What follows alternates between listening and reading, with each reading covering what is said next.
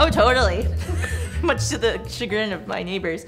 Um, no, uh, I sometimes, I mean, I sing at the opera house, but I also sing outside. I used to sing, um, or sometimes I sing when I go back um, to Cali. I sing on, I sang on Adventure Time um, where you, the cartoon on Cartoon Network, where you, you meet people and they go, oh, can you sing this? Or, you know, and so some of the, the extended technique that I've learned has been able to keep me very safe. So I can do all this kind of crazy stuff on the side, but at the same time do it in a safe way, a knowledgeable way where I'm not screaming my face off.